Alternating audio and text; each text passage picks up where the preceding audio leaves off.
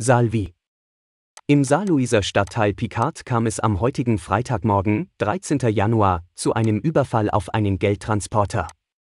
Demnach meldeten, um kurz vor 8 Uhr, mehrere Zeugen zunächst Schüsse und dann eine heftige Explosion, dabei soll auch ein Geldtransporter in Flammen aufgegangen sein. Das Fahrzeug wartete offenbar gerade vor dem Einfahrtstor eines Dachdeckerbetriebs, als die Mitarbeiter überfallen wurden. Laut Saarbrücker Zeitung wurden mehrere maskierte Männer gesehen, die anschließend mit einem schwarzen Audi flüchteten.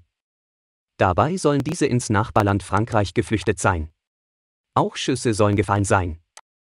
Die Täter schienen sich zunächst weiterhin auf der Flucht zu befinden. Ob sie eine Beute Mac